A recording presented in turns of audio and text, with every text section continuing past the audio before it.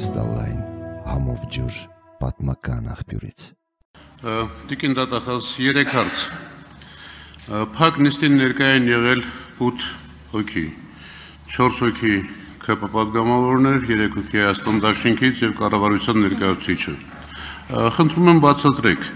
ձեր միջնորդության մեջ ինչու է ամբողջ հիմնավորվածությունը բխում միայն ԿՊ-ական պատգամավորների ցուցմունքներից։ Երկրորդ հարցը։ Ձեր միջնորդության մեջ դուք ասացիք ցուցմունքներից մեկով, որ մեր Սահակյանը նստած է եղել Վարոն Վարդայանի ցախ աթորին։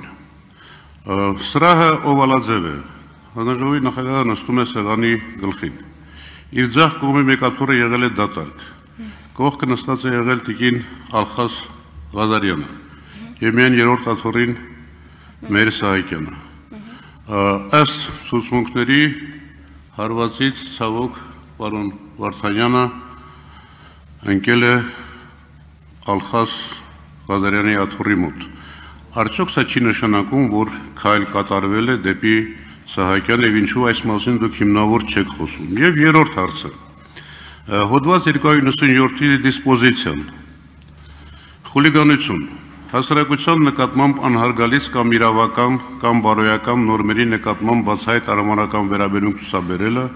որը դրսևորվել է անձին ստորացնելով կամ հայոյանքներով կամ անպարկեշտ արտահայտություններով կամ համակեցության կանոնները ցածրաբար անտեսմամբ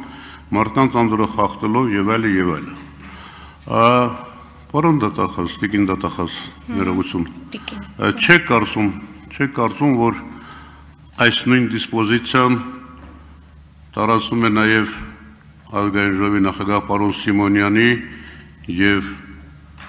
համարտի իրավունքների հանձնաժողովում պարոն Հովանիսյանի վարկագծի նկատմամբ եւ արդյոք պատրաստվում եք այս հարցերով եւս միջնորդություն ներկայացնել ազգային ժողով։ Շնորհակալ եմ։ Շնորհակալություն, պարոն Վարդանյան։ Եթե միջնորդությունը ծերից ծեր թերթեք, կտեսնեք, որ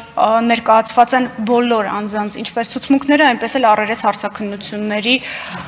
բովանդակությունը։ Բացի այդ, դեպքի վայրի զննությունը, որը շատ սկզբունքային նշանակություն ունի, քանի որ սենյակում գտնվող աթոռների վրա, եթե չեմ սխալվում, մինչ այսօր կան արյան հետքերը։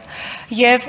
կարևոր է դեպքի վայրի զննությունը օբյեկտիվորեն հասկանալու համար, թե ով որտեղ է գտնվել, որովհետև վերբալ ապացույցներում յուրաքանչյուր կողմ պնդում է իր տեսակետը եւ այստեղ կարևոր նշանակություն ունի երրորդ անձի, տվյալ դեպքում պարոն Կիրակոսյանի կողմից ներկայացված ցուցմունքը եւ հատկապես այն դրվագը, երբ պատասխանելով Մհեր Սահակյանի փաստաբանի այն հարցին, թե ինչպես ես դու հիշում Մհեր Սահակյանի վարկագից պարոն Կիրակոսյանը պատասխանել է, որ ագրեսիվ վարկագծից զարմացած սևեռվել է պարոն Սահակյանի վրա եւ ուշադիր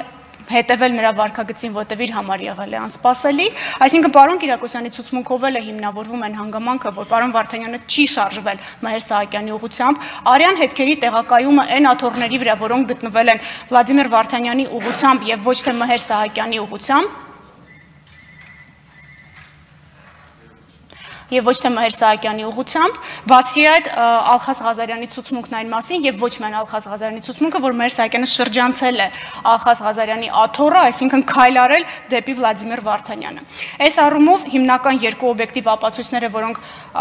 կողմերի դիրքորոշումներից չեն բխում եւ միակողմանիության ձեր ասած մտահոգությունը փարատում են դեպքի վայրի զննությունն է եւ պարոն Եղիշե Կիրակոսյանի ցուցմունքը տվյալ իրավիճակում։ Երկրորդը խուլիգանության հանցակազմի հետ կապված երկու հանգամանք հանգամանքի վրա կցանկանամ ձեր ուշադրությունը հրավիրել։ Առաջին, որ խուլիգանության հանցակազմը նոր օրենսգրքումի տարբերություն նախկին օրենսգրքի շատ ավելի լայն է եւ կամ շահկապով տարբերակված օբյեկտիվ կողմի դրսևորում է ենթադրում, ուստի այս տրամաբանությամբ խուլիգանության հանցակազմի մեկնաբանության առումով վճռաբեկ դատարանի նախկին ձևակերպումները, որոնք իդեպ հերկվել են վերջին ժամանակաշրջանի դատական պրակտիկայով, որ խուլիգանությունը կատարվում է բացառապես ուղակի դիտավորությամբ եւ խուլիգանությունը բացառապես հասարակական կարգի կոպիտ խախտումն է, այլևս չեն աշխատում։ Ինչ վերաբերում է ձեր նշած մյուս դրվագներով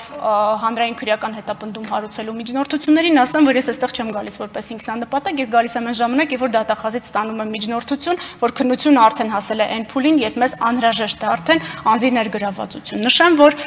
Այսօր խոսելու եմ բացառապես այս միջնորդության, միջնորդագրի մասին, չեմ շեղվելու հարցից, բայց ուղղակի, քանի որ ենթադրում եմ, որ բոլորին հետաքրքիր է, ասեմ, որ մենք հանցագործության մասին հաղորդում ստացել ենք իրազեկ քաղաքացիների միավորումից, ինչպես պարոն Սիմոնյանի հետ կապված դրվագով, այնպես էլ պարոն Հովանսյանի հետ կապված դրվագով, դրանք ուղարկվել են ըստ ենթակայության քնչական մարմնին։ Այս բանին այսքանը։ Արձագանք պարոն Վարդանյան։ Շնորհակալ եմ Միևնույն է տիկին դատախազ ակնհայտ է ձեր միջնորդության մեջ միակողմանի դիրքորոշումները, բայց իմաստ չկա խորանալու այս հարցերի մեջ, ուղղակի քանի որ այսօր այս դահլիճում մի իմաստուն առակ պատմվեց, ես փորձեմ առակին պատասխանել ասացվածքով։ Ասացվածքը հետևյալն է. միշտ ապեք մարդկանց հանել ցեխի միջից, ցեխը ինչպես կուզեք հասկացեք, Գուցե դա նրանց բնական միջավայրն է։ Շնորհակալ